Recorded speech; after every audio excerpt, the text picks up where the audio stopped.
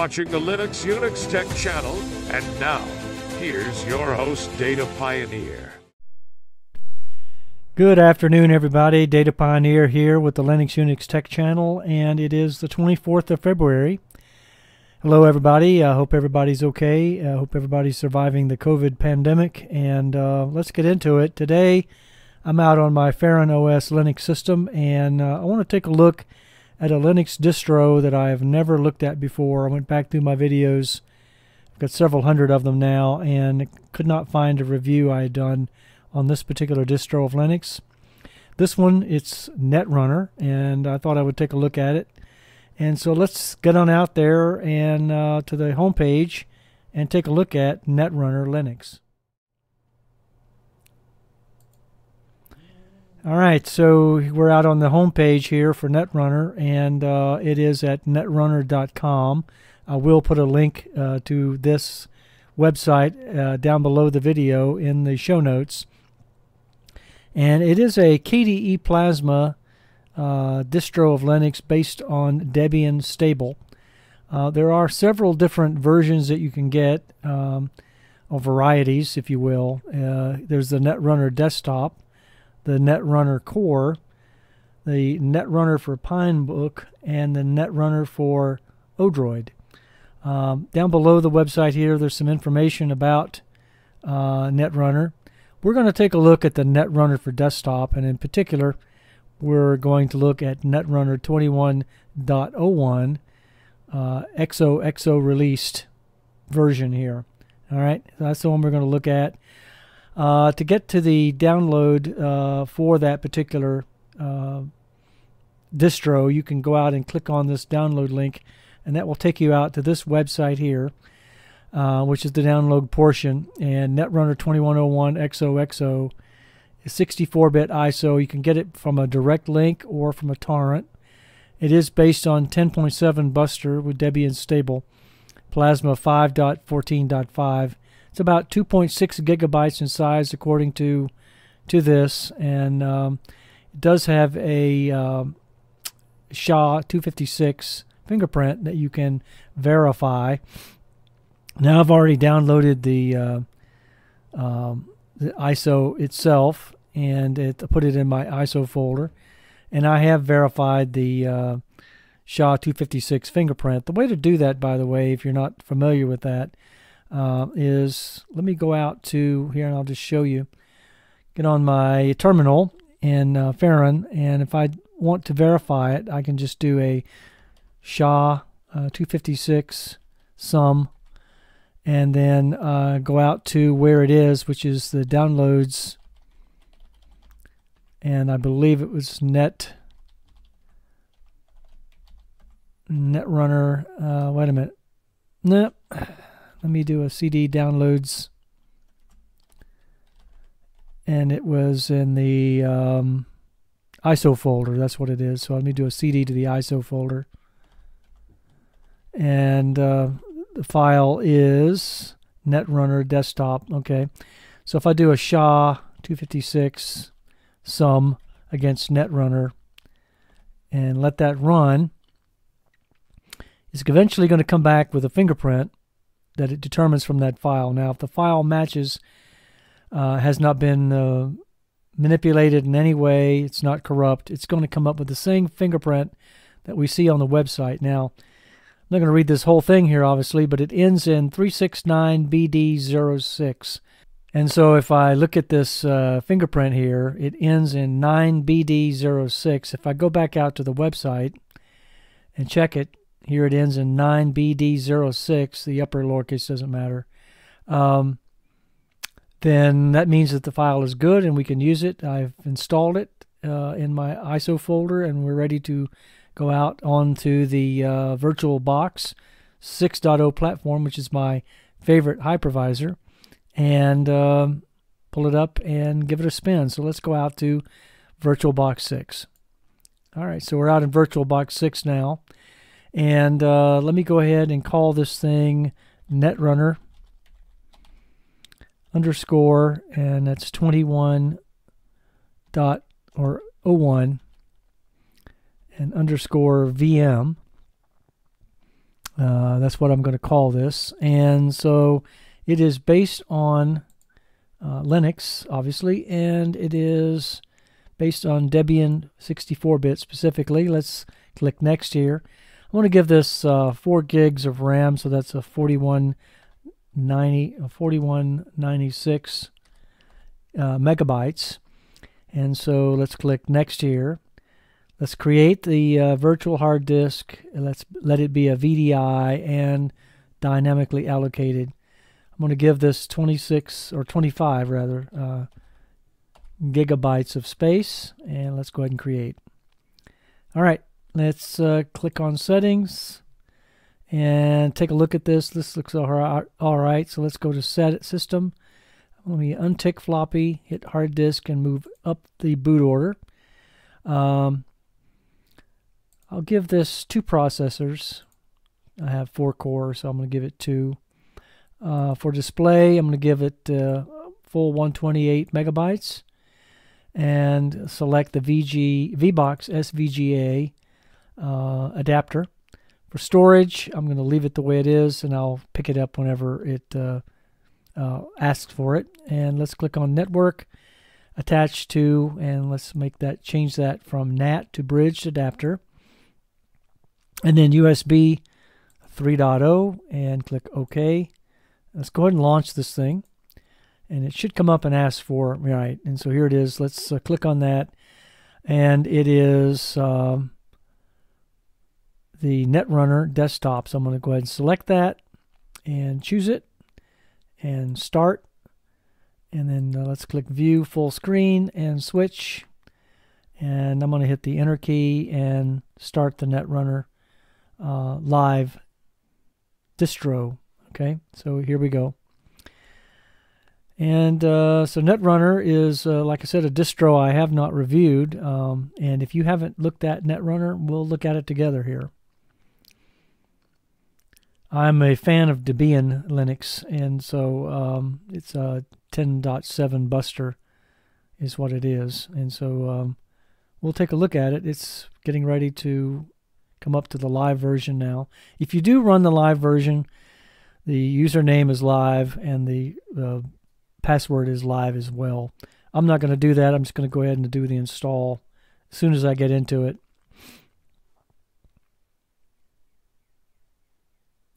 So it should be coming up to it here shortly.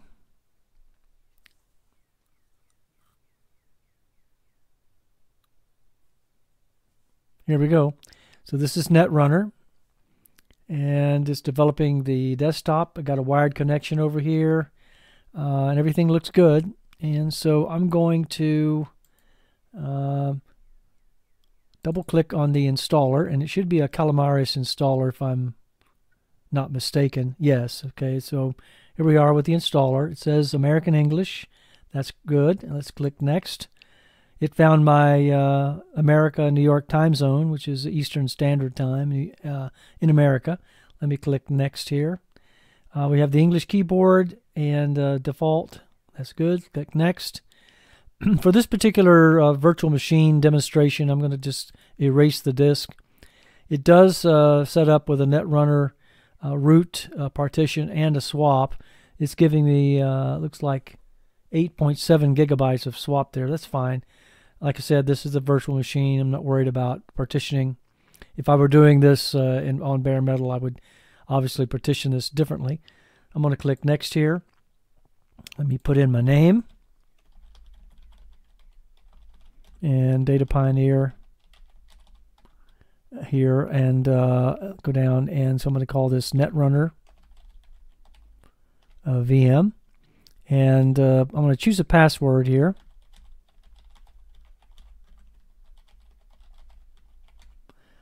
And it didn't match so I must have mistyped it. So let me try it over.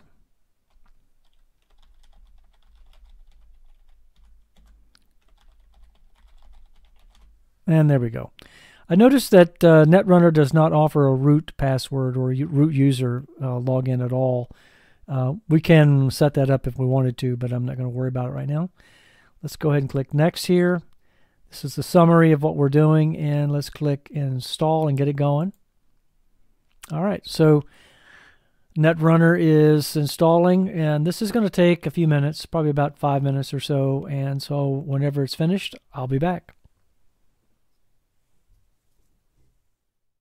Okay, so the Netrunner installation has completed, and we're ready to restart. It's got a tick mark in the restart now in the installer.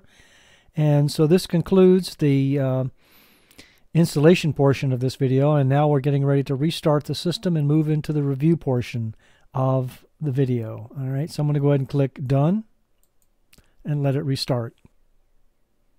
Okay, it's restarting now and uh, we're up to uh,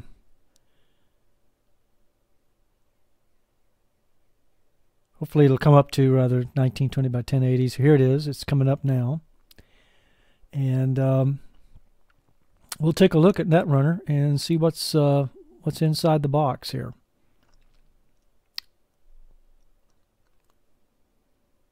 Curious as to whether this is going to come up the full. Yeah, it did. Good. 1920 by 1080. And it took about six or seven minutes, by the way, on that install.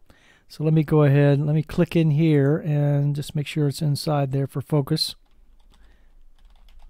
Put in my password, hit enter key, and let's get into the desktop. This is uh, Debian 10.7 Buster KDE Plasma. And uh, here we are. Okay, so let the uh, desktop develop. And uh, we got a wired connection. Looks good. All right, so what I want to do first of all is um, let's come down to the panel Let's right click on the panel and select options and configure the panel. And I'm going to change the height because this is too um, too heavy, too thick for me. So let me bring that down to about there. That looks good. So it's a smaller panel at the bottom. I like the smaller panel. I don't like the huge panel. Um, and um, our icons are across this way instead of down this way. We can fix that, but I'm going to leave it the way it is right now. So let's uh, let's take a look. I want to change the wallpaper right away. I don't particularly care for this wallpaper. So let me right click and uh, configure the desktop.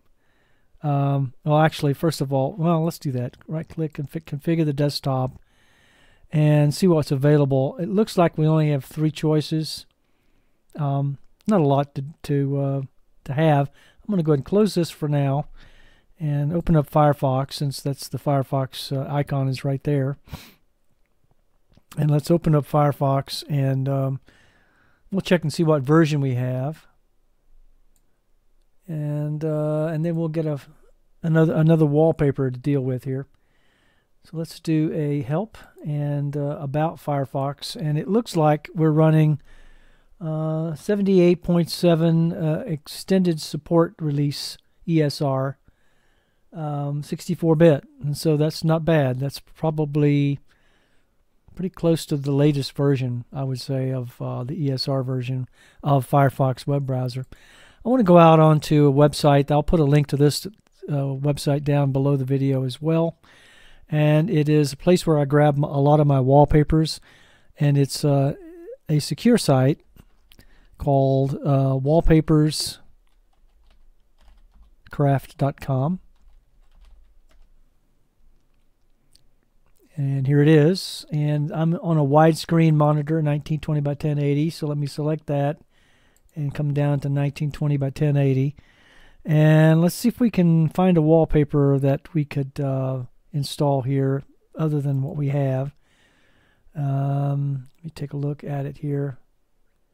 Uh, kind of like this one here, but let me see if there are any others real quick that are that might look better. Uh, I like this one. Uh, let me select that one. It's the beach scene. We download the wallpaper. Right click and save the image as, and it's saving it as beach sunset. Da da da. Uh, JPEG here. I'm going to save it in the pictures folder, or pictures directory. Let's click Save. And uh, let's go ahead and close the web browser. And close tabs.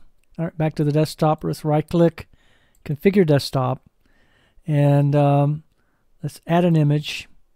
Let's add the one we just downloaded here. And uh, so let's click open. And there it is. So I'm going to select it and apply it.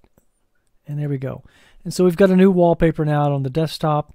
Like I said, I will put a link to the wallpaperscraft.com um, website um, down below. You don't need to sign up. You don't need to log in or anything on the account. You just go to it. All of those wallpapers are free to use, and um, I've enjoyed using those over the years. I'll share that with you. All right, so now we've got that. Let's see what we have. Uh, let's right click on the menu and see what the uh, alternatives are to the menu. It looks like it's on the application dashboard. I don't particularly care for that uh, as much as I like the launcher or the menu here. So I'm just going to go with the straight application menu and switch to it. And so when I bring it up, when I left click here, it's going to bring it up to a conventional menu that I like. All right, for games, you've got plenty of games here. Uh, Burger Space, Chess, Frozen Bubble, you name it. Okay, we've got a lot of games. For graphics, we've got the GNU image manipulation program, uh, Inkscape, Krita. I like Krita more than I do GNU image manipulation program or GIMP. Let's let's click on Krita and I'll show you what Krita looks like. Krita just has more possibilities. Uh, I'm still learning Krita, but uh, I've been able to do quite a bit in Krita.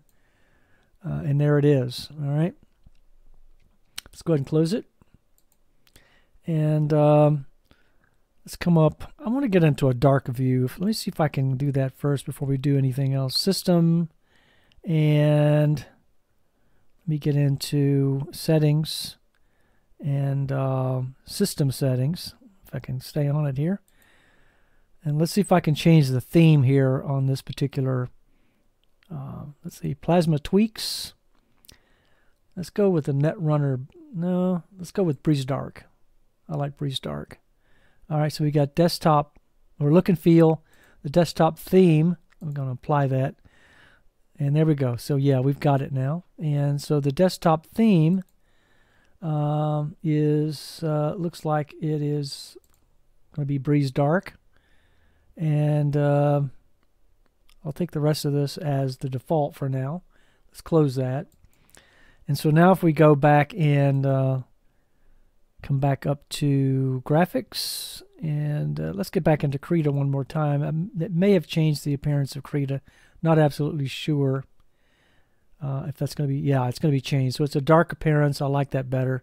Easier on the eyes. I don't know about you guys. Um, if we pull in the image that we just uh, downloaded, if I click on File Open and select it here and click Open, it should open that image into into Krita, and you can manipulate it with the tools over here and across the top of the menu. Like I said, it's got a lot of possibilities, and you've got right click here, and you can do quite a few things in Krita that you can't do in uh, GIMP. Let's go ahead and close it. Come back up and select again and let's go to uh, graphics it's still got uh, Skanlite which is for my scanner for internet we've got Firefox ESR uh, extended uh, support release we've got KDE Marble since it is a KDE desktop K desktop uh, Pidgin Internet Messenger we've got uh, Q Transmission BitTorrent client we've got Skype I don't use Skype Thunderbird mail client. I've started using another mail client that's replacing Thunderbird called MailSpring. I'm not going to show you that in this video, it's beyond the scope. Um, but I may put that in a link down below the video as well. It's MailSpring is a uh, very nice uh, client uh, for like your Gmail or, or some other mail account that you might have. I've got a Proton mail account and I use the web interface, so I'm I do use my MailSpring for my Gmail account. You might like it. Multimedia here we have uh, Audacious, we've got Cheese, uh, Handbrake, Kdenlive. I use Handbrake for rendering videos, uh, changing files, um, you know, rendering them into different formats. Kdenlive for editing uh, videos. I will be using Kdenlive to edit this video. Uh, I'm using Simple Screen Recorder to record the video. Um, Pulse Audio volume control, uh, and some other things for Office. You got the full Office suite. Let's take a look at Office uh, and Draw, Math, and Writer. Let's take a look at Office Writer here for LibreOffice. see what version we have. And if I bring this up to full screen, and let's zoom in here on the uh, on the document. There we go. And let's go to help and about LibreOffice and see what we have. We have version 6.1.5.2. I know that's not the latest version. Uh, we're up to 7.1 or 2 now, so but that's okay. Um, fairly recent version. Uh, Debian uh, Buster 10.7 is not a rolling release, so uh, and 20.01 of this uh, Netrunner is not a rolling release distro. So you're not going to get the bleeding edge or the cutting edge, but you're going to get fairly recent stuff. So let me go ahead and close that, and uh, I'll close that out. Let's get back into here, and we were on Office. I think that was covered it all. Under Settings, we have uh, Grub Customizer, Kvantum Manager, System Settings, as I showed you earlier. Uh, that we have here. We've got account details, online accounts, plasma tweaks. We've got quite a bit of stuff in the plasma tweaks, uh, as you can see. Colors and icons, GNOME application. Uh, we didn't even touch on that, um, but that's really beyond the scope here. Uh, wanted to see what was available. We're not going to actually get into everything. Workspace behavior. We got user manager for for system account uh, management, uh, user account management. We got date and time um, startup and shutdown for applications. We got shortcuts for display here. Uh, I've got an animation speed that's running. I've got uh, um, displays. I'm using running here a 1920 by 1080 um, screen display, which is nice. All right, and so let's go back. We've got audio, network settings. We've got printers and power management. All right, so let's uh, get out of this and go back to uh, system and let's move beyond our settings here. And it looks like that was it. So system, we've got Discover, uh, Dolphin, Info Center. Let's take a look at the Info Center. And that should tell us a little bit about our uh, system itself. Fact, tells us quite a bit about our system. Uh, some of the things like KDE Plasma version 5.14.5 uh, we were running Qt version 5.11.3. Um, talks about my processors, the memory here, the swap that's available, etc., etc. So you could take a look at that. Click on memory, uh, energy information, uh, about the system itself, which we already looked at. For device information, um, didn't seem to switch for that. Network information. Oh, you got to open it up. Okay, so device information, uh, USB devices. It shows you a lot of information. So PCI, quite a bit of stuff here, guys. Uh, too much to get into here on this video. Let's close that. Let's come back up and get back into system again. And so for system, we've got now the KDE Partition Manager, got console, which is the uh, terminal. And so let me see if I can bump that up. And let me uh, expand the actual size of the uh, terminal here. And let's take a look at and see if HTOP is installed. It does not appear to be. So this is a Debian system, so I'm going to run a sudo uh, apt install htop to go ahead and install htop. Put in my password.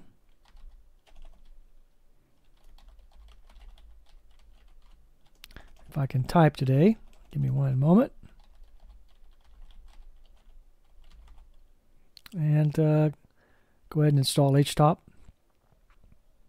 All right, and so let's clear the screen, clean up the terminal, and let's type in HTOP. And there we are. So we have HTOP here. I haven't had this system up very long, uh, 13 minutes, and it's already up to um, 18, uh, 813 rather megabytes out of 4 gigs. Uh, a little heavy, not too bad, but I've got HTOP running, so that's using some resources as well. Uh, it's giving an idea, us an idea here of the CPU processors, uh, their utilization percentages. We've got 86 tasks, 119 threads. We've got two tasks running, one now. Load averages pretty good for 1 minute, 5 minute, and 15 minutes.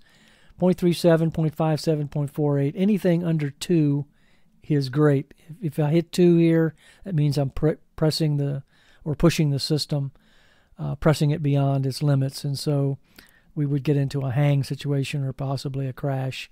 Not anywhere near it. So we're doing all right there. And the uptime is 14 minutes, 53 seconds. Let me go ahead and close the uh, application, HTOP. Let's do a DFH while I'm in here and take a look at the breakdown. Here is the root partition. Uh, I'm using 54% of it right now. Uh, and so that looks good. And um, let's do a uname all and take a look at that. We're running Linux Netrunner VM. Kernel version is 5.9.0.0, uh, AMD 64, so that's great. Uh, Debian uh, or Debian 5.9.15.1. Very good. All right, so let's go ahead and uh, I have not updated this system, so let's do that. sudo apt update, sudo apt upgrade, and let's do a dash y, and so that way we don't have to answer yes to the question, and let it go ahead and update. So it looks like it's going to be updating quite a few packages, and so I'll go ahead and pause the video and come back when it's completed. Okay, so the update process has completed. That took a little longer than I anticipated. It took about five minutes. Uh, I didn't it, think it was going to take that long, so we have finished that process. So let's go ahead and exit the terminal now. Let's get back to where we were, and I believe we were on System, and I had uh, touched Console. So let's do, uh, we got ksysguard, Kwallet Manager, we got uh, network drives, Synaptic Package Manager. If you've never used that, uh, let me open that up for you. Show you what that looks like. Um, that is a uh, an application that you can use to uh, install other applications in the system.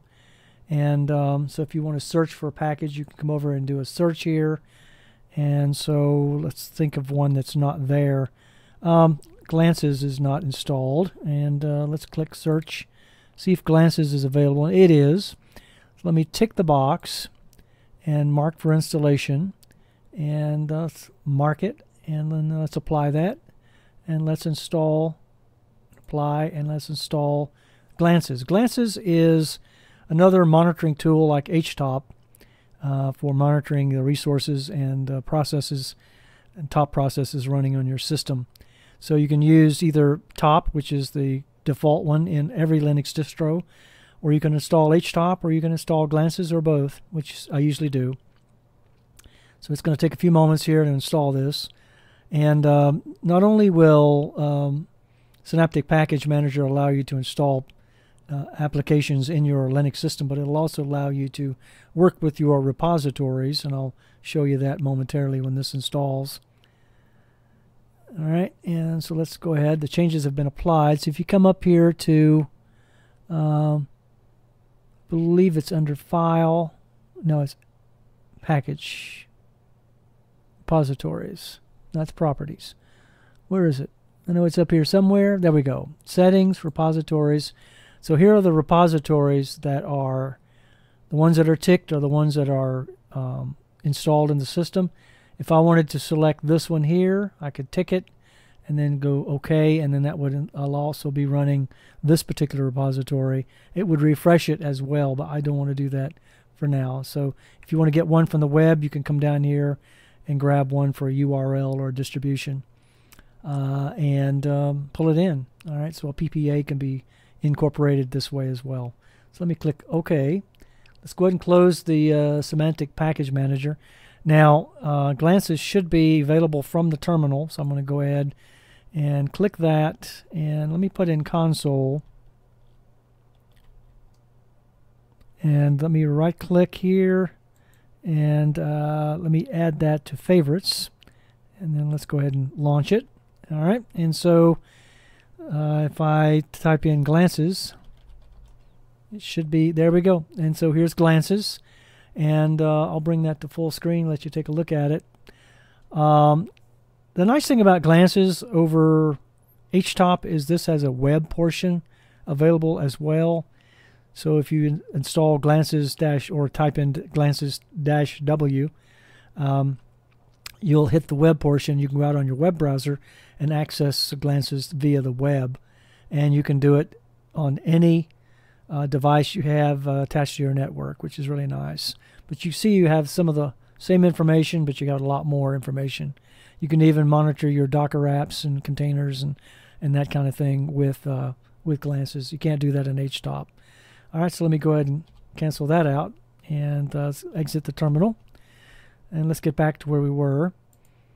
And so we were at setting system and um, update manager, and you've got, uh, I'm not sure how to pronounce that, if that's Yakuwaki or if that's Yakuake. Let me click that. That's a drop down terminal. That's just nice to have. All right, and so uh, you can uh, select it and then let me just go ahead and exit here and uh, close it so you can bring it up anytime you can set a key command keystroke command for I'll call it Yakuwaki um, to bring it down just by hitting the key uh, stroke combinations on your keyboard and you'll have a terminal at your ready at any time you want to use it all right so let's go back in here so utilities got Ark kate kcalc Okular which is a pdf reader Spectacle, which is, uh, believe, for viewing images. Um, SUSE Studio Image Writer, which is nice. And then vokoscreen. vokoscreen is another uh, video desktop uh, dis, um, recording software, open source. It's kind of like Simple Screen Recorder for uh, grabbing your desktop and recording your desktop. But vokoscreen is another one.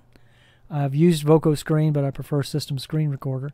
For web, you've got uh, HookTube, uh, Open Desktop, Skype Web, Telegram, and WhatsApp. Then you've got a help functionality, and then you've got your power and session so you can lock your screen, log out, switch user, suspend, hibernate, reboot, or shut down. All right, then over here is your favorites. So you've got your file manager, and it looks like the file manager here is Dolphin. So let me expand that. So that's quite nice uh, here. All right, so if I click on network and go out to SMB and see if it will pull up my shares that I have out on the network. I don't see them anywhere. Let me put in my uh, IP address to that. So let me click on that and put in 192.168.1.125. Hit enter. There it is. Okay, so we've got file store vol 1. If I double click it, there's a SMB CIFS share that I have sitting out on my network. And so you can grab that as well here in Netrunner. So I like that. Go ahead and close Dolphin. All right, and come back up. So we've got, uh, this is probably Kate. It is. All right, that's Kate. So Kate is a, a code editor uh, and text editor if you've never used it. Um, we've got that particular button. I'm not quite sure what that is. It looks like it is uh, Discover. Okay, so Discover is another way of installing packages in Netrunner. Uh, it's uh, common in Debian systems. And so let me uh, spread that out. And so I could just select one of these and and then just hit the install button and that would install it. So I'm not going to do that, but you can do it that way. All right, and so here we have monitor, I believe, system monitor, and uh, so you can monitor your system. Quite nice. So for username, CPU usage, memory, shared memory, and Windows title, um, a window title, rather. Uh, and then you've got settings here for show toolbar, status bar, configure the shortcuts, and configure the toolbars, etc., etc. So that is system monitor. All right, and let's come back up. And if there's the console, and then here is the uh, for leaving and for logging out and, and things like that. All right, and so here with the panel, let's go across. We've got the uh, Dolphin, we've got the web browser, Firefox ESR. Over here, we can click that button. That's the Yakuwaki, that's the pull down menu. So you can just do it right there. You don't even need the keystroke combination. Um, here we've got the uh, spectacle, which is for grabbing uh, images on the screen, snapshot or screenshots of images. And you can do that very easily there. Not going to do that now. Uh, here's my audio controls. Okay, very nice. And then uh, got a calendar over here.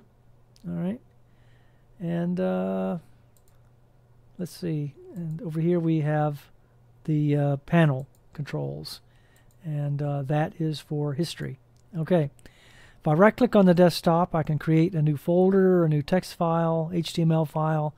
I can bring up a LibreOffice uh, Calc document, a new one, a draw document, a presentation called Impress, or a writer document from LibreOffice by just right clicking here and left clicking on LibreOffice Writer. Um, I can link to a location for URL. I can link to an application or basic link to a site or directory. I can refresh the desktop here. I can add a widget. So let me add uh, analog clock. I like the analog clock. Let me put that out there. Go ahead and close this and um, let's uh, bring that over. And let's see if I can make this smaller. Yeah, let's shrink that down. And then if I come up here and hit the uh, edit, I can do a show second hand and apply it and click OK.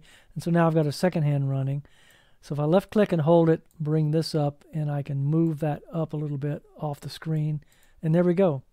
All right, so I've got my, my favorite widget, my analog clock out on the desktop. And then let's right click again. I can add panel. I can add application menu bar, default panel or empty panel. I can lock the widgets. I'll go ahead and do that. And then finally, configure the desktop. We already looked at that initially when we got in. And so that concludes the uh, review portion. I will tell you that I found Netrunner here to be very responsive. Uh, I like the bright colors with KDE Plasma 5 desktop. Um, KDE uh, has got a good reputation, but it's got some disadvantages as well. It's kind of heavy, but uh, I like it. I like uh, the way it looks and uh, it just renders really well on the desktop itself. But I do like K uh, Netrunner. I I think that Netrunner is a great distribution from what I've seen. I wouldn't have any problem using it as a daily driver. So uh, you might want to check that out. Go ahead and install it in a VirtualBox. You can run the live version. Uh, as you noticed when we went up and installed it uh, or started to install, but we fired it up rather in VirtualBox. It does have a live version just remember live is the user and live is the password initially.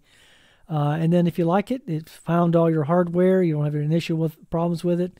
Uh, you got a network uh, connection, either wired or wireless, and go ahead and install it on bare metal and give it a go.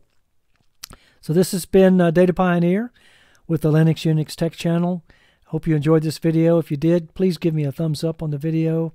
Uh, it will help my channel if you haven't subscribed to my channel, go ahead and subscribe, and then off to the right, hit that notification bell and select all or personalized. And, uh, and that way, every time I upload a video, you'll see it. And so, Data Pioneer here with the Linux Unix Tech Channel. Have a great rest of your day. Take care. Bye bye.